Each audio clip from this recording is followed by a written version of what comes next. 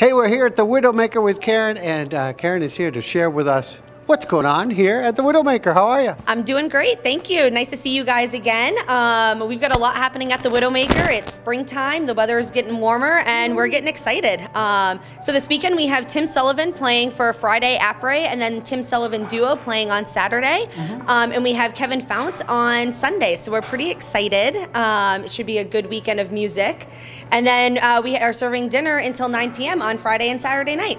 Late night, you looking for a place to eat? This is the place right here at the Widowmaker. Now, with this nice weather, it looks like the beach bar is going to be open now. The beach bar will be open. We've had it open for most of the winter, um, but we're, uh, ramping up with some great drink specials um, and some tasty delights out there um, to get people excited for warmer weather and hanging out around the fire pit.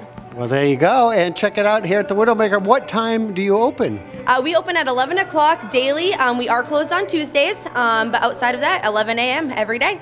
Thanks, Karen. We appreciate it. Thank you. Nice to see you.